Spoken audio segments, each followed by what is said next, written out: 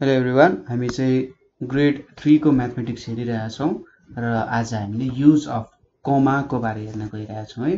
यो use of कमा हामी six digits नम्बरमा कसरी युज गर्न सकिन्छ र यो कमाको इम्पोर्टेन्स के हुन्छ हामीलाई कमाले के कुरामा सजिलो पुऱ्याउँछ के कुरामा फाइदा पुऱ्याउँछ त्यो हेर्छौँ।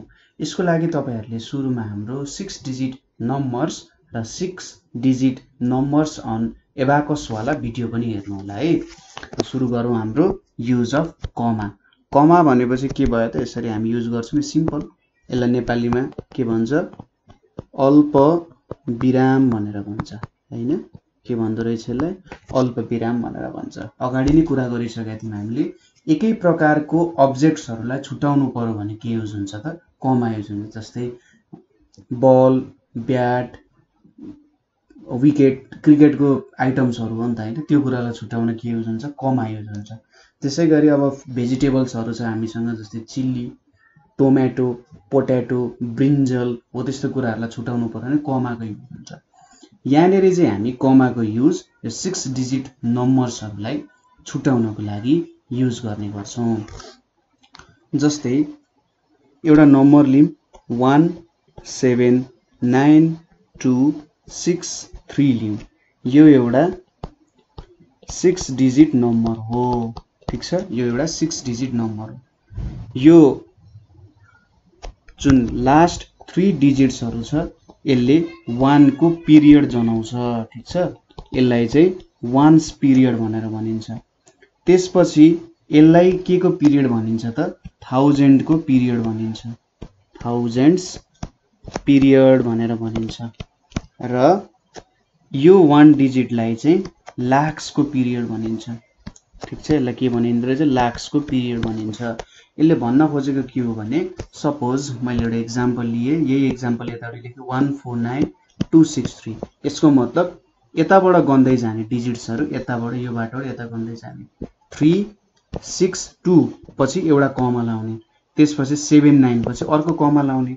यहाँ के सजिलो भयो त हामीलाई? भन्दा यहाँनिर सिक्स डिजिट छ। यो वान्स प्लेसमा भयो यो टेन्स प्लेसमा भयो यो हन्ड्रेड्स प्लेसमा भयो यो हाम्रो थाउजन्ड्स प्लेसमा भयो यो हाम्रो टेन थाउजन्ड्स प्लेसमा भयो र यो हाम्रो वान लाखको प्लेसमा भयो होइन? अब यहाँ हामीलाई सजिलो के भयो भने हामीले यहाँनिर एउटा मात्रै डिजिट छ नि यहाँ हेर्नुहोस् त। फर्स्टमा हाम्रो एउटा मात्रै डिजिट छ। यसलाई हामीले सिधै के लेख्न पायौँ? वान लाख लेख्न पायौँ होइन? अब यहाँनिर सेभेन्टी नाइन छ। सेभेन्टी नाइन हामीले के लेख्छौँ? थाउजन्ड लेख्छौँ। Seventy nine thousand. जति कमाभित्र छ त्यसले एउटै फर्ममा लेखे जस्तो भयो। त्यसपछि यो तिनवटालाई टु हन्ड्रेड अनि सिक्सटी थ्री भनेर लेख्न सक्यौँ। होइन यो एउटै जस्तो भयो। यो दुईवटा भयो यहाँनिर यो अब सेभेन डिजिट नम्बरहरू आएको छ भने त्योसँग अझै कुरा गरौँला। तर बुझ्नुहोस् कि वान मात्रै छ वान लाख यदि यहाँ टू थियो भने टू लाख थ्री थियो भने थ्री लाख फोर थियो भने फोर लाख हुँदै जान्थ्यो। यहाँनिर अब seventy nine eighty eighty one ten eleven टुवेल्भदेखि हामी हेर्दै जान्छौँ। अब यो चाहिँ सेभ थाउजन्डको टर्म्समा गनिन्छ।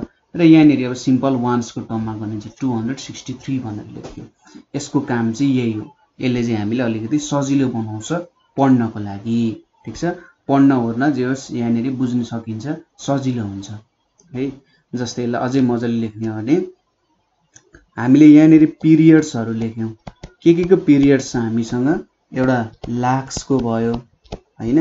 एउटा हाम्रो थाउजन्ड्सको भयो थाउजन्ड्सको भयो। त्यसपछि हामीसँग एउटा वान्सको पिरियडहरू भयो। ठिक छ? लाक्स भयो त्यसपछि थाउजन्ड्स भयो वान्स भयो होइन? अब हाम्रो नम्बर यहाँनिर पिरियड्समा हामीले प्लेस भनेर लेख्यौँ है। प्लेस भनेपछि अब यहाँनिर आउँछ लाक्स है। त्यसपछि आउँछ थाउजन्ड्सभित्र के के पर्छ त? टेन थाउजन्ड र यसलाई अलिकति मेटाइदिएँ मैले टेन थाउजन्ड टेन थाउजन्ड्स र थाउजन्ड्स भनेर आउँछ। टेन थाउजन्ड र थाउजन्ड्स भनेर आउँछ। त्यसपछि यतापट्टि आउँछ वान्समा के के आउँछ त? अलिकति सानो बनाउँ यसलाई वान्समा हाम्रो हन्ड्रेड्स टेन्स र वान्स भनेर आउँछ। यो हाम्रो के के हो त? प्लेसेसहरू हो है? यति कुरा त बुझियो होला। ठिक छ? अब मैले यहाँनिर यसरी लगाइदिएँ। सजिलोसँग बुझिन्छ।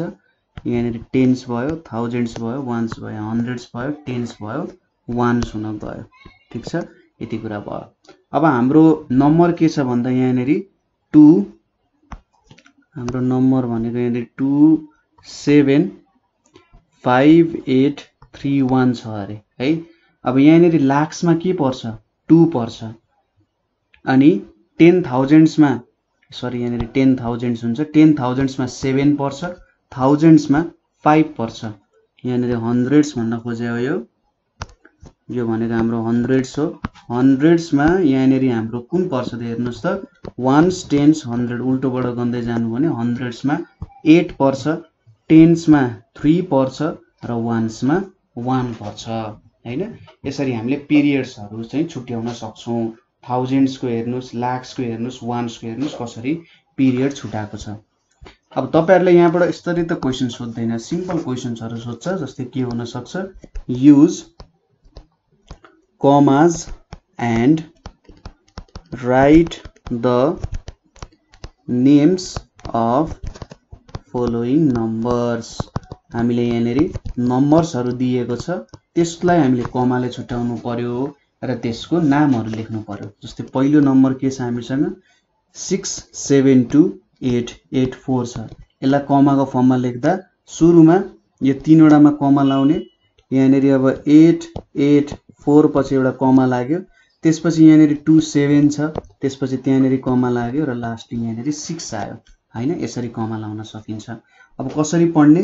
यसलाई six lakh seventy two thousand six lakh seventy two thousand eight hundred eight hundred and eighty four भनेर हामीले यसलाई पढ्न सकिन्छ। Six lakh seventy two thousand eight hundred and eighty four अब यसपछि अर्को इक्जाम्पल अथवा क्वेसन हेरौँ हामी यहाँनिर। के छ त भन्दा nine five two four eight three भनेको छ है। अब यसलाई कमालाई छुट्याउँदा सुरुमा यो तिनवटालाई त्यसपछि यो दुइटालाई है। यहाँनिर nine five two four eight three लेख्ने थ्री एट फोर तिन भयो यहाँ भयो। अर्को कमा दुईवटा पछि दुईवटा पिरियड लाग्यो है। अब यसको नम्बर नेम भनेको के हुन्छ? Nine lakh fifty two thousand nine lakh fifty two thousand four hundred eighty three हुन्छ। ठिक छ? Nine lakh fifty two thousand four hundred eighty three हुने हो। त्यसै गरी अर्को हेरौँ। Three four eight zero seven five भनेर छ। यसमा पनि अब तिनवटामा कमा लाउने उतापट्टिबाट आएर zero seven five zero seven five पछि एउटा कमा त्यसपछि यो एट र फोर पछि अर्को कमा लाग्छ। अब यहाँनिर थ्रीलाई थ्री लाख लेख्छौँ हामीले। थ्री लाख भनेर लेख्छौँ। फोर्टी एट छ यहाँनिर फोर्टी एट थाउजन्ड हुन्छ। फोर्टी एट थाउजन्ड हुन्छ। र अब जिरो छ भने चाहिँ हन्ड्रेड लेख्नु परेन। एन्ड यहाँनिर हाम्रो सेभेन्टी फाइभ भनेर हुन्छ। ठिक छ? Three lakh forty eight thousand and seventy five हुने भयो। त्यसै गरी अर्को छ हाम्रो five eight six five two seven हुन जान्छ। है अब यसको पनि त्यही हो। यहाँनिर मैले five eight six five two seven लेखेँ भने फाइभ टू सेभेन पछि एउटा कमा सिक्स एट पछि अर्को कमा हुन्छ। यसरी कमा राख्ने। अब यसको नाम के हुन्छ? फाइभ छ। यसलाई हामी फाइभ लाख भनेर लेख्छौँ। त्यसपछि eighty six thousand E I G H T Y eighty six thousand eighty six thousand five hundred five hundred and के हुन्छ ट्वेन्टी सेभेन हुन्छ। ठिक छ? Five lakh eighty six thousand five hundred and twenty seven हुन गयो। यसरी चाहिँ हामीले कमाको युज गर्न सक्छौँ। कमा युज गरेर हामीलाई लेख्न सजिलो भयो होइन? जति भ्यालुजहरू छ त्यतिलाई एकचोटि कि त बन्चमा लेख्ने हो कि त हामीले सिङ्गल छ भने सिङ्गलले त्यसलाई लेख्ने हो। होइन यति कुरा त हो। जस्तै हामीलाई वान टू थ्री फोर लेख्नु भनेर दिएको वान टू थ्री पछि एउटा कमा लाउन मिल्छ। वानलाई हामीले के भन्छौँ? वान थाउजन्ड भनेर भन्न सकिन्छ। वान थाउजन्ड त्यसपछि two hundred one thousand two hundred के भन्न सकिन्छ? थर्टी फोर भन्न सकिन्छ। त्यसै गरी one two three four five छ भने तिनवटालाई गर्ने अब दुईवटा पछि त छैन। भनेपछि यो एउटा बन्च भयो टुवेल्भ हामीले के लेख्न सक्छौँ? टुवेल्भ थाउजन्ड टुवेल्भ थाउजन्ड अनि त्यसपछि थ्री यतापट्टि लेखेँ मैले थ्री हन्ड्रेड एन्ड कति हुन्छ? फोर्टी फाइभ हुन्छ। ठिक छ? यसरी काम गर्न सकिन्छ। यही हो हाम्रो कमाको युजहरू यस्तो कुराहरूमा युज हुन्छ सजिलो हुन्छ। यो हामीले नाम लेख्न कति भ्यालुहरू रहेछ कति नम्बर रहेछ भन्ने कुराहरू लेख्न सजिलो हुन्छ है। र यहाँसम्म तपाईँहरूलाई केही प्रब्लम भने कमेन्ट गर्न सक्नुहुन्छ अथवा nine eight four nine five nine five eight nine फाइभमा कल गर्न सक्नुहुन्छ। आजको लागि यति नै। Thank you for watching